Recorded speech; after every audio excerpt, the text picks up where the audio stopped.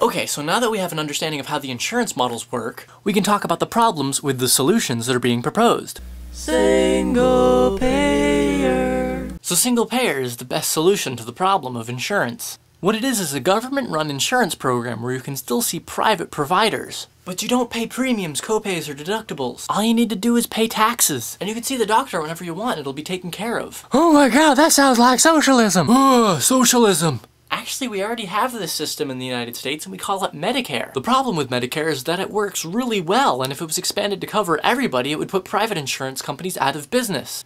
Which I think would be a good thing. How well does it work? Well, it's been solvent since it was created, and it only insures old people. Old people are one of the highest risk populations to insure. If we expanded Medicare to cover the entire population, the risk would be spread over a much larger, younger, and healthier portion of the population, which would actually drive per capita claims down, and would actually make the entire program stronger and more solvent. That's how insurance models work. The larger and lower risk the population, the higher the profit margin. But Medicare is not for profit, so there's no profit margin at all. Plus, under Medicare, you'll never have a situation where your premium payments are going to some multi-million dollar CEO bonus while you can't get your own medical bills covered.